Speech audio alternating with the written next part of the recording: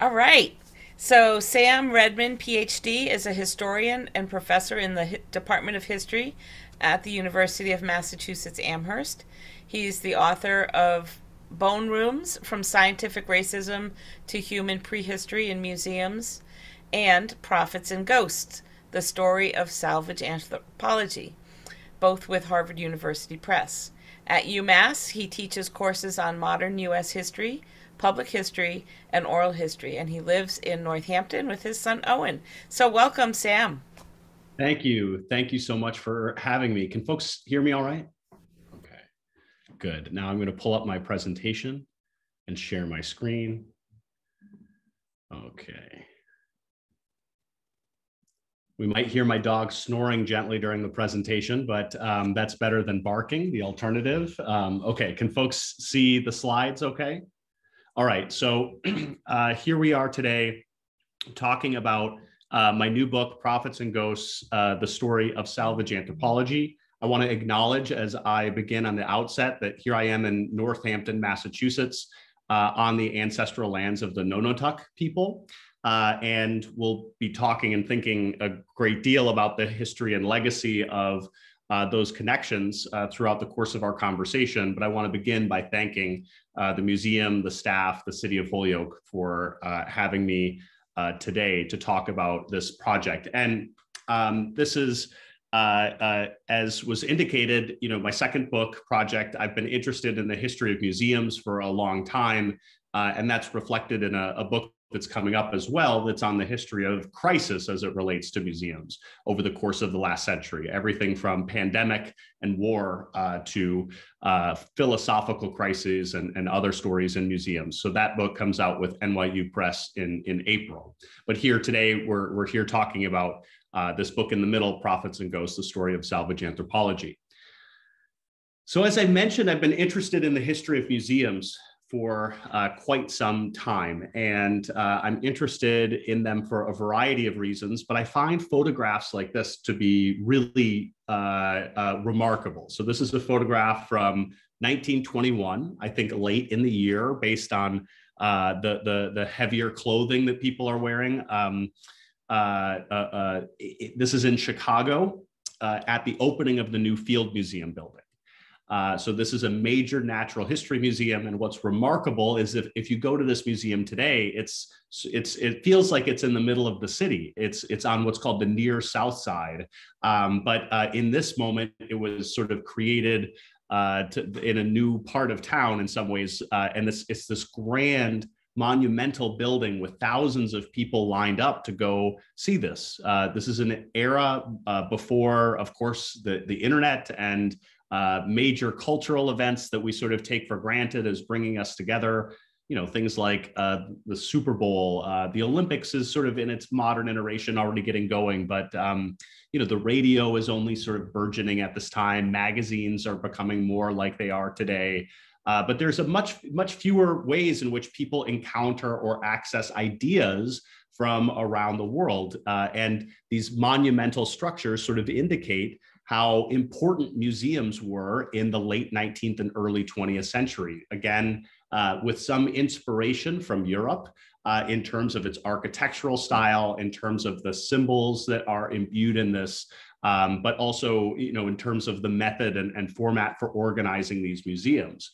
Um, Okay, and of course, though these aren't places that are just you know uh, in in from in, in historic periods, right? These continue in many cases, such as the Field Museum in the same building, to be these vibrant cultural centers where thousands of people from across the Midwest and, and the city of Chicago and across the country and world travel uh, uh across, you know, uh, uh, to to experience this institution, right? It's got the largest T Rex uh, ever discovered. It has material from uh, geologic discoveries from around the world. And of course, it has wings devoted to archaeology and anthropology, or the study of archaeology being the study of our material history and material remains, and anthropology being the vast study of mankind, right? And you can see glimpses of that in this photograph with uh, the, uh, the totem poles from the Pacific Northwest or the oceanic material uh, here in, in the way back. But uh, I, for a long time, have been interested in, in how people have learned about Native American cultures in these spaces. And uh, it, it, struck me as significant and consequential, right? That um, over the course of the 19th and 20th century, these massive collections were built up in the in museums like the Field Museum, and then thousands of people, uh, uh, Euro Americans, white people especially, but uh, uh people from around the world uh, started to learn about Native Americans in a particular way in these spaces, and uh, it struck me that probably there was uh, a lot of bad inherent to this story and a lot of problems uh, in, inherent to this history, but there might be some possibility uh, connected to it as well. Um, but it, I was surprised that there had never been a book written about the history of salvage anthropology because so many people in articles and, and in biographies had uh, uh, gestured at it being so significant, but no one had really told the story in this way. And now we'll start a little at the end here to give a, a bit of an indication of why this is consequential. when I did a series of interviews with Native American artists and curators to get different perspectives on this story and this history, uh, Marie Watt, a Seneca artist who works in textiles, she makes these incredible, almost you know, room, sometimes room-sized sculptures out of blankets and other textiles uh, through a community oriented practice. She told me in an interview it's problematic that most people's understanding of American indigenous culture is often limited to the objects in museums and anthropology collections, darkly lit under glass rather than direct experience, interaction, and engagement with indigenous people in our communities. So, uh, you know, I sort of came to question like, well, how did we get here? like how did we get to this uh, the, this point where people tend to learn about native people in this particular way?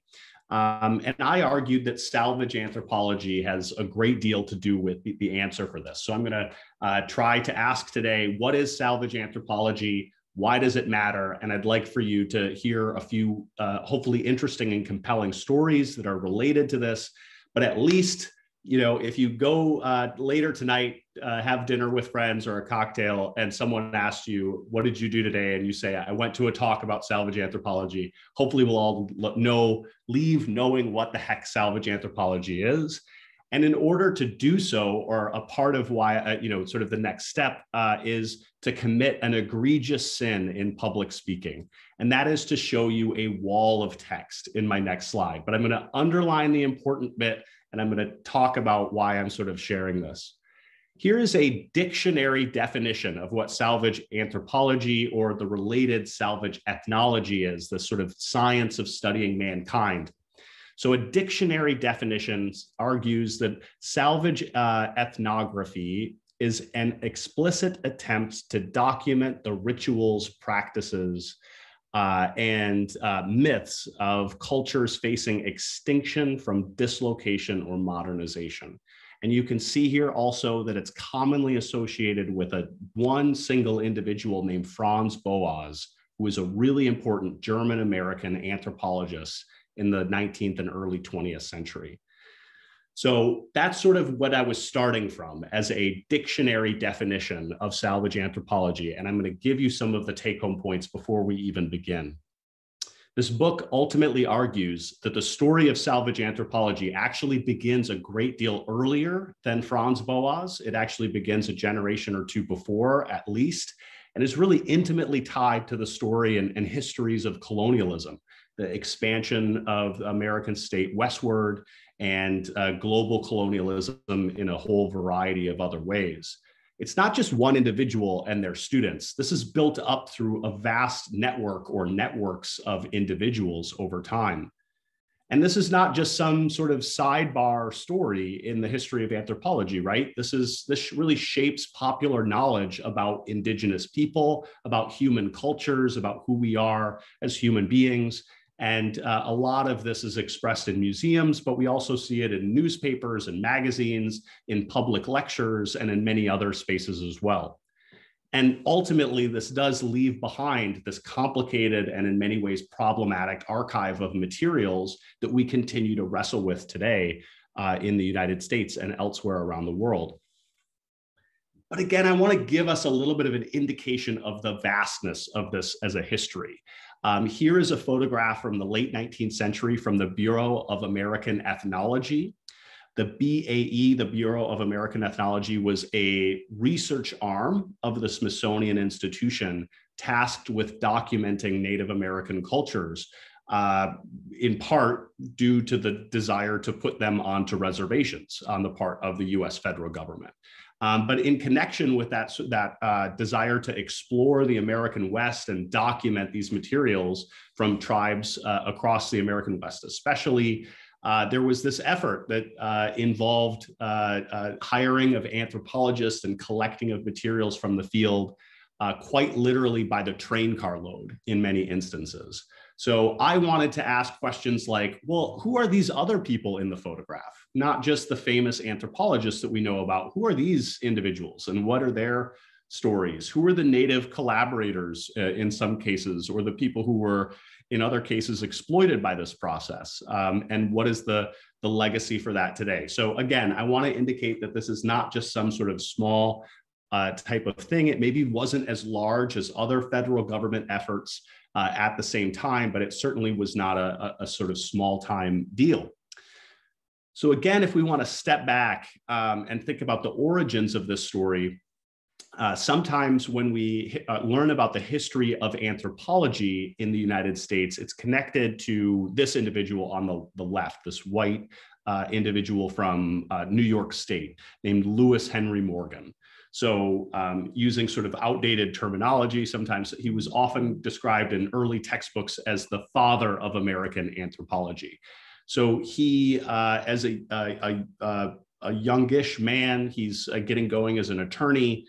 And um, he gets almost, he, becomes interested almost to the point of obsession with trying to recreate Native American rituals. Um, so he and a club of other white individuals in New York uh, will you know, dress up and uh, uh, play Indian, in the words of one historian.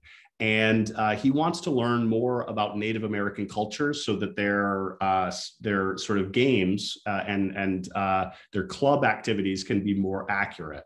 Um, and over time, this becomes a pretty heady, serious interest. And he authors what's considered the first American ethnology of the the Iroquois Confederacy, and in particular, it's because he meets at a bookstore a 15 year old man. Uh, this is a photograph of uh, uh, Eli Parker, uh, uh, much older, but Eli Parker, man, there I cannot believe that there isn't a Netflix movie about this individual. He, um, uh, at age 15, he's been at a boarding school for some time, so he is adept at reading and writing English as well as his native language. He introduces anthropologists like Lewis Henry Morgan to actual Native people. And wouldn't you know it, that actually meeting Native Americans, he learns all of this fascinating stuff and, and the, the uh, information that he gets by actually talking to people tends to be more accurate and of more interest to people. So Lewis Henry Morgan, this is, you know, in some ways sort of trivia, but in other ways it indicates how significant he was. It's the only American author that's cited by Sigmund Freud, Karl Marx, and Charles Darwin. So that can sort of indicates how uh, uh, significant his global uh, impact was. But it was, wouldn't be as uh, if not for uh, Eli Parker, who was said to have such great handwriting, or apparently, you know, it, it is true he had such great handwriting. I've read his letters, and I can attest to that. That um, he, uh, during the, the Civil War, he becomes an aide to uh, General Ulysses S. Grant. He becomes the highest ranking American Indian in uh, the Union uh, uh, forces, and he ends up writing one of the first drafts of the surrender documents signed at the end of the war. Um, so he's just lives this remarkable life history and um, is credited some in uh, Morgan's major writings, but arguably not enough in terms of his facilitating his connection to Native elders and information that uh, uh, was considered really valued to scholars around the world. So it was stories like that that I wanted to incorporate more, but then also, you know, sort of so what, right?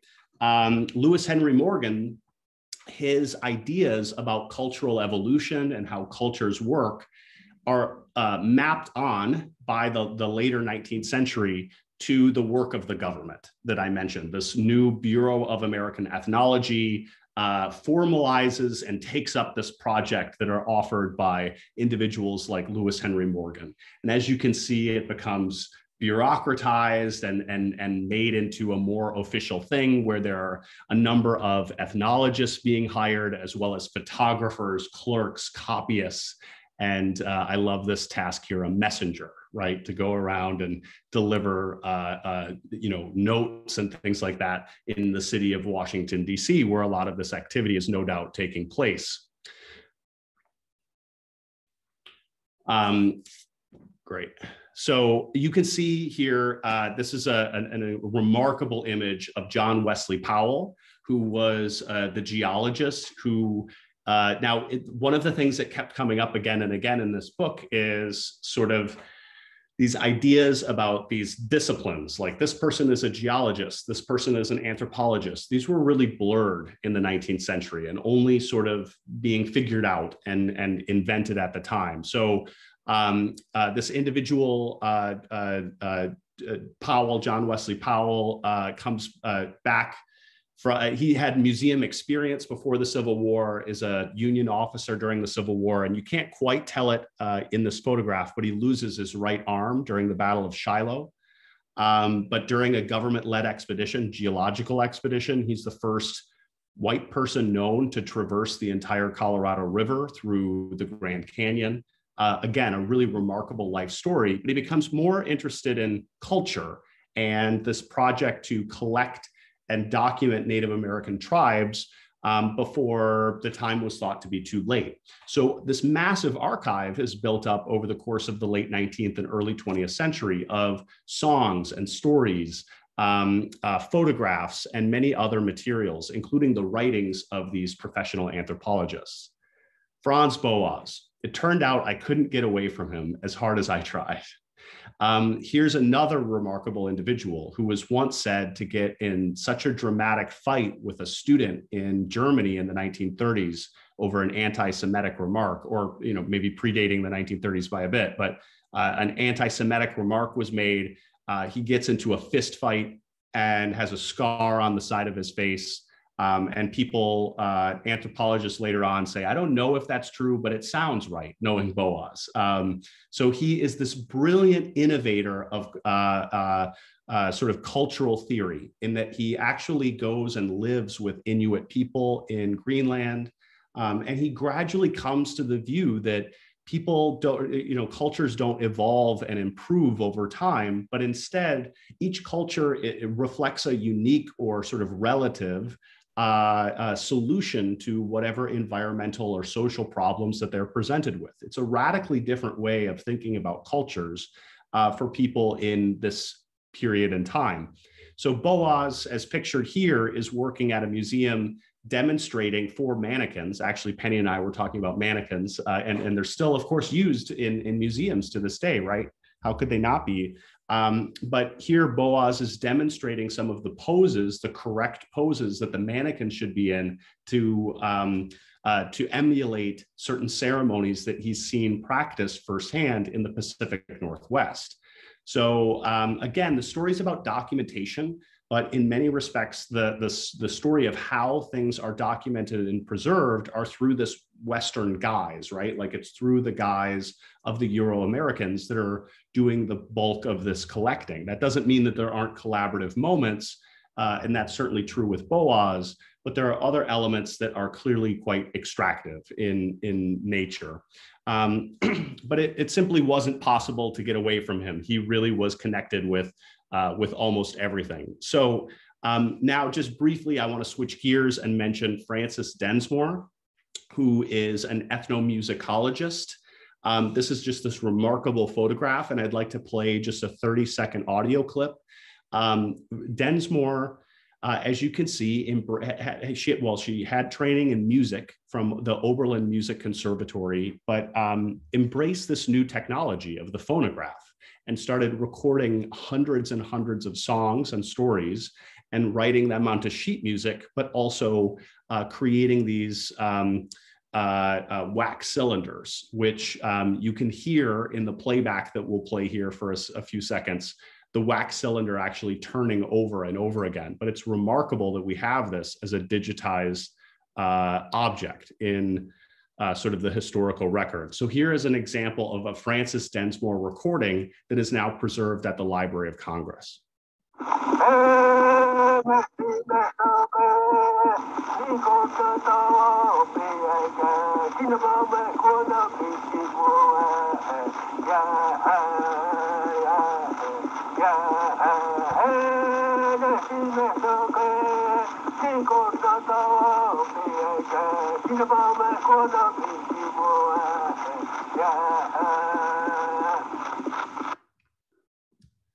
So, as you might imagine, for uh, an ethnomusicologist today, for Native people today, this is a remarkable thing to have. We'll talk more about possible problems that are associated with these collections, um, but what a remarkable gift in some sense that we have this recording of someone uh, you know from 100 years ago or more and we can not just look at a photograph but encounter it in a uh, an oral sort of um, uh, uh way as well. It struck me that another interesting thing about salvage anthropology is that people when they write about art and native people often reference salvage anthropology when they talk about how painters approach this and photographers approach this as a problem. But there again, nothing had really been written fully on the connection between art and salvage anthropology. So, a, a chapter in this book is dedicated to exploring the connections between artists and um, visual imagery and this effort to collect and preserve uh, Native people on some level. So George Catlin was a famous uh, painter who uh, painted hundreds of, of paintings. We'll circle back to his, his, work in a moment. And Edward Curtis, one of the most uh, uh, remarkable photographers, but a, a great line that I read about Edward Curtis is the most important thing that you need to know about Curtis is that he was taking photographs in the 20th century to make them appear as though they were from the 19th. So already there was an idea about nostalgia and this vision of the past, the sort of idea about the past is fading away. So here is his famous uh, uh, rendering of Geronimo, who by this time had already been photographed driving a Cadillac. Um, but here he is, you know, rendered in uh, blankets in a very, in my view, sort of nostalgic looking uh, uh, rendering um, but these weren't just sort of these uh, pictures that, that hung on a wall somewhere and, and were never really seen again. They played an active role in how we began visualizing Native American cultures that, you know, arguably really becomes imbued in later Hollywood presentations and, and other sort of cultural forms. Um, but here is the main Smithsonian lecture hall on the National Mall in at the turn of the century. And what can you see on the walls here? Dozens and dozens of these Curtis paintings. Um, so even if you were going to the Smithsonian to hear a lecture, much as we are at a museum virtually today to hear a lecture, but if you were going to the Smithsonian to hear a lecture about astronomy in the turn of the century, you couldn't help but see these Edward Curtis photographs as well. So it really uh, becomes imbued into uh, an element of the national ethos in a way that um, it almost in, in terms of our subconscious, people start to think about native cultures in, in this way. Here you can see the auditorium full uh, with a presentation on Arctic life and culture. So again, I think this really has resonance today. Here is um, uh, the, the remarkable storage facility uh, uh probably many people in the audience know this, but if you were to ask people in the general public, uh, most people are unaware that museums can only display, in many cases, 1% of the collections of, of their material. If you have, uh, you know, 100 spoons in your collection, you might show one or two, and the others might be held behind the scenes in storage um, here at the Smithsonian Institution, they do a good job of trying to rotate materials onto exhibit and uh, loaning them out to other museums around the world. But a lot of this is, is, is sort of behind the scenes, right? And that creates an interesting uh, problem and, and dynamic in terms of uh, thinking about these uh, as, stories. Um, and let me just mention one really fascinating uh, example within that. Uh, an anthropologist uh, at the turn of the century named James Mooney um, worked with over 20 different Native American tribes, but some of his most interesting work took place with the Kiowa in, in the Great Plains. Um, and in for many tribes in the Great Plains, the, the teepee or the lodge is a really consequential thing. It's where you live, it's where a huge amount of your uh, uh, time is spent. Um, but also, the exterior of that is um, documenting a vision or a, an episode in your life or something important about the family that occupies that teepee or, or lodge. Um, but that is also proprietary to you and your family. So it's not like just some cool design. If someone else in your community copies that design, it's essentially considered plagiarism. Okay, also, bison leathers were becoming really difficult to come by in this era. And uh, so James Mooney, as an anthropologist, couldn't just say, hey, I want that teepee cover and I want to take it to the Smithsonian. So what he decides to do is order from Sears and Roebuck, uh, the uh, the best buckskin that he could get, uh, so a smaller sort of leather hide, and he gives them over to tribal elders and historians, and he invites them to paint their own uh, versions onto mini teepee covers. And then he that takes these materials and he sets them up for the public at various locations in major hotels and at fairs where people in Kansas City and in Nashville can come and see this mini village. And now it's one of the millions and millions of objects that are stored behind the scenes uh, at museums like the Smithsonian. But um, one thing that ultimately became very interesting to me is that when we talk about museum history, we often talk about big museums and small museums. But we don't think about within these large national museums, there are also small collections that sometimes don't get as much acknowledgement or uh, time spent on understanding or, or thinking about their significance. So, in thinking about this story, one of the, the amazing conversations that I had a chance to have was with a, a, a scholar and, and, curator named Joe Horse Capture at the Autry Museum in Los Angeles. And, you know, I presented him with, um, you know, some of these problems and, and some of the possibilities and, and asked for his reaction. Uh, yeah, he reminded me of this very important thing. He told me there are many examples of Native researchers combing this information and bringing it back to the community. This includes details about ceremonies that are no longer practiced and language resources. If they didn't exist in museums and archives, how would they be brought back to a community? It's a love hate relationship. So I found that to be a really interesting you know, uh, uh, idea. And I continued to look for other stories that, that indicated um, some of these you know tensions and, and contradictions um, but also you know might give us some sense of uh, where this is heading and, and possibility so a, a, couple more stories here to end um, i was very moved in reading about the story of a Tlingit hat so uh, uh, in the 19th and 20th century, as this salvage anthropology movement is getting going, it's really uh, privileging long-term preservation right? This isn't just about sort of the immediacy of the exhibits. This is about the long range um, preservation of these threatened materials. So unfortunately, that meant that in the 19th and 20th century, all organic materials, so wood, leather, feather, would be treated using pesticides arsenic and mercury, things that are incredibly toxic and hazardous to have, you know, uh, near you as a human person, right? But they do, uh, I guess, is the upshot is that they keep pests away from these organic materials. But uh, in, in the present day, when there's a movement to return some of these materials and try to reincorporate them into ceremonies, how can we do that if they are tainted with these uh, historical uh, chemicals? So this really interesting example came up uh, a few, just a few short years ago of a 3D printed hat that uh, is based on a historical hat in the Smithsonian's collection. Here you can see it being uh, scanned, 3D scanned. Some adjustments were made. Uh, they didn't want, I understand they didn't want it to be an exact replica, but a near copy. And then um, uh, this quote was really amazing to me.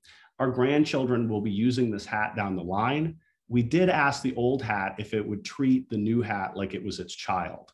So uh, they describe uh, putting this old hat into a dark room overnight with the new hat and inviting it to share some of its knowledge uh, with uh, the younger hat. And I thought that was a really beautiful example of uh, possibility in terms of this story, rather than just purely thinking about uh, the, the limits and the problems that are very real in connection to the story. Another example were these remarkable series of photographs from the late 19th century. Um, tribal delegations visited Washington, D.C. throughout the course of uh, the late 19th and early 20th century.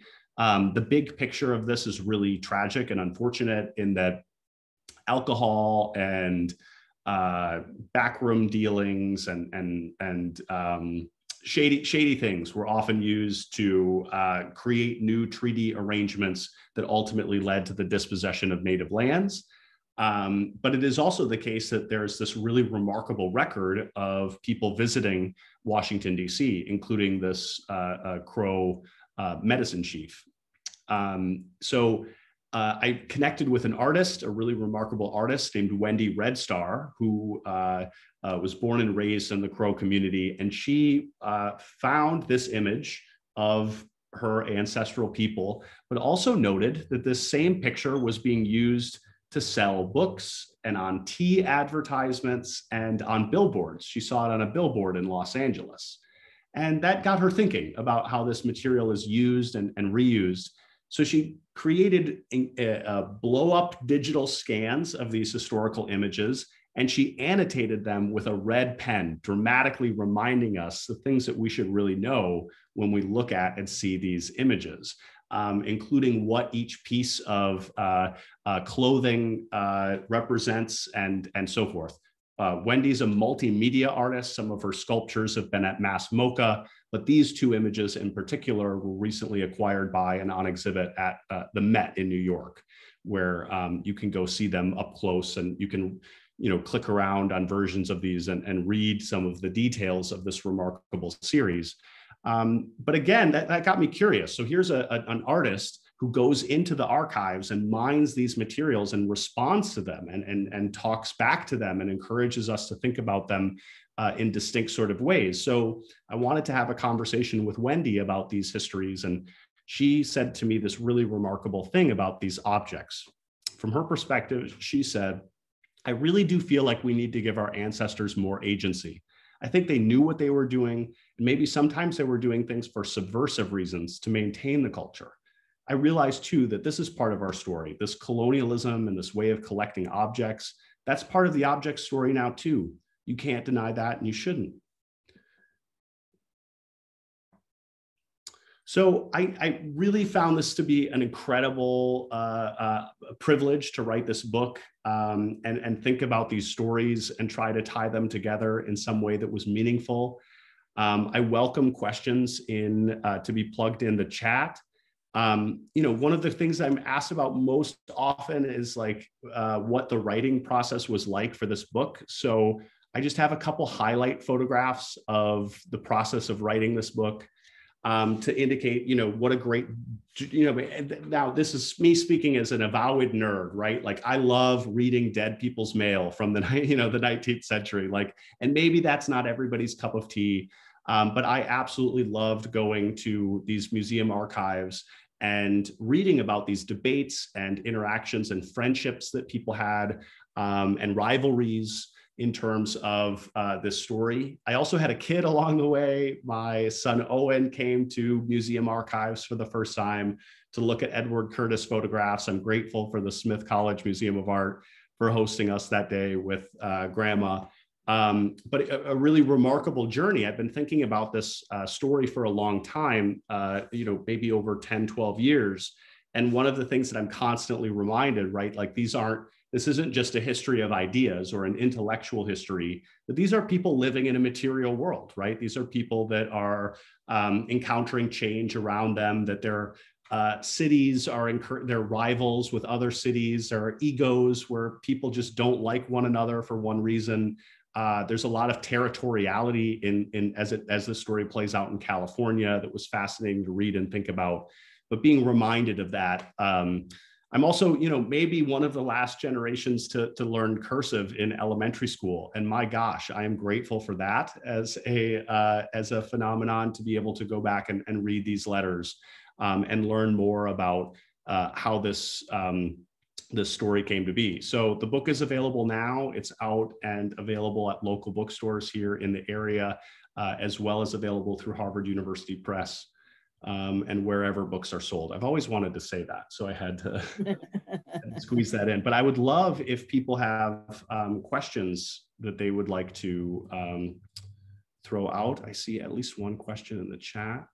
Oh yeah, great. Ely Parker, what a fascinating. Can I tell one more Ely Parker story? And what's interesting about him is that there are like tidbits and there's like a 1960s era biography and because he was served in, uh, in General Grant's staff, he uh, was sort of occasionally would appear in like the gossip pages of major newspapers.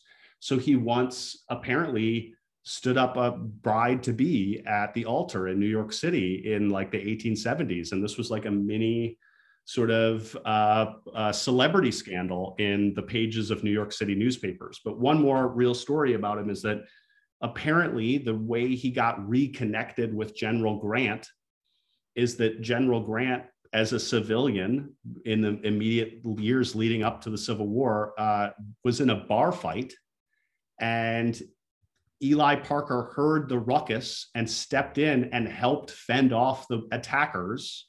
And they became fast friends after that. They apparently were acquaintances, but it was a bar fight that, that it feels like Western saloon style. But, um, you know, I think maybe it happened in New York someplace. But um, what a remarkable story that is to show sometimes how small the world can be. And um, uh, it's interesting. Uh, Lewis Henry Morgan always had these political ambitions, but it was his younger friend that um, ascends through some of the ranks, but is always pretty shy about. Um, he he doesn't seem to really want to be commissioner of Indian Affairs. Yeah. All right, I'm seeing a couple more questions in the oh, chat. Oh yeah. Um, from Jessica, could you directly clarify what was problematic about the process of salvage and anthropology at this time? What about today? I assume we still do this at times. That's a great question. Thank you for asking that question. So, well, there, there's a lot of possibility, and um, you know, there are some examples that I quote in the book of people that are Yurok elders that say outright, "I'm glad that some 19th century anthropologists studied and published this material, so I have access to it." That is certainly the case. But I think, as that Marie Watt uh, quote indicated at the, the top of the uh, conversation here today, that the um, part of the issue is that uh, native people still live in the world today and they are doing you know many of the same things right as the rest of us do. But we tend to think of them as in the past uh, staid historical noble. Um, we tend to have certain ideas about who native people are eh, that um, create expectations that are maybe unhealthy for people to live up to or misguided.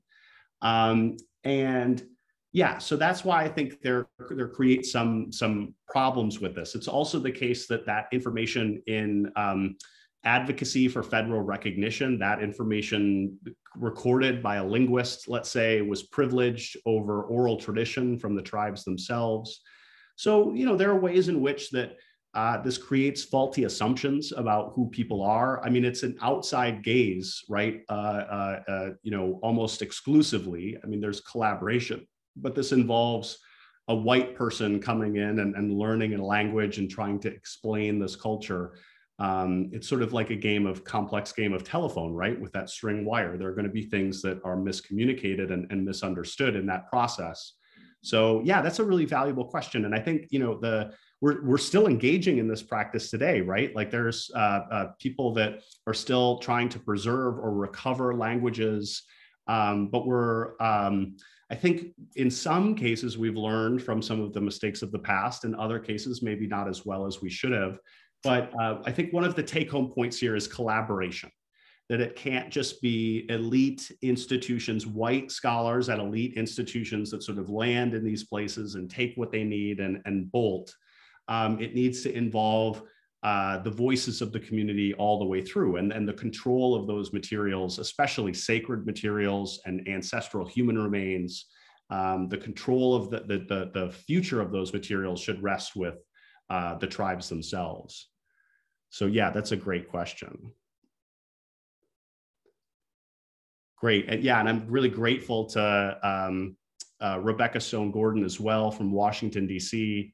Um, and yeah, I think that, you know, I, like I say, what a fascinating um, set of characters and, and people and, and problems. Um, yeah, I couldn't get some of them out of my head in a good and bad way, I guess. All right. Do we have any any more questions from folks? I feel like the presentation was very comprehensive, a great crash course, uh, and I'm looking forward to getting the book soon to read it. Yeah. Let's see. I do see one more question here. Okay. Oh yeah, great. I'm, I appreciate hearing this particular question. So the relationship between salvage anthropology and the emergence of salvage archaeology or archaeology just as a field. So I'd love to just address that question before we wrap up. So um, at the middle of the 20th century, sort of ironically, like as salvage anthropology or salvage ethnography, the sort of cultural work is fading in some sense, there's this growing um, uh, idea of uh, salvage archaeology, especially as it relates to the construction of major dam projects, both in the American West, but also in Egypt and elsewhere around the world. And this sparks more of a conversation about how uh, part of the salvaging uh, needs to be of these historical materials. And there is some conversation in the 60s and 70s like, what can salvage archaeology learn from these older efforts in ethnography and collecting in language and, and in music and things like that. Um, some people argue that some of the really core modern tenets of archaeology really came to be in that moment and in connection with these uh, changes that are happening in that in that moment. But again, as your question suggests, right, that there there is this emphasis that's in so many respects extractive, right? Um, uh, people in California with salvage archaeology projects are saying we need this for the state collection and so that it doesn't go east or abroad.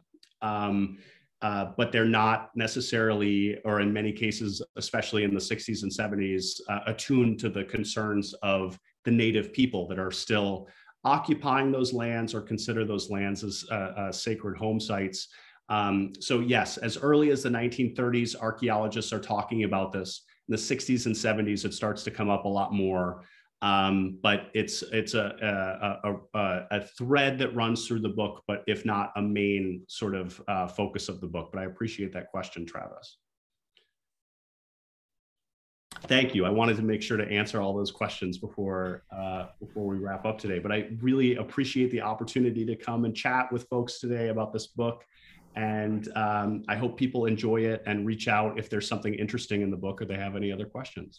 I, I can't wait to read it, Sam. Thank you so much for being with us today and enlightening us on salvage anthropology. all right. Um, all right. I think that's that's it. And uh, thanks again. And um, hopefully we can do something with you again in the future. I'd love to come back in person too. Terrific. All right. All right. Talk to you guys soon. Yep. Bye-bye. Bye.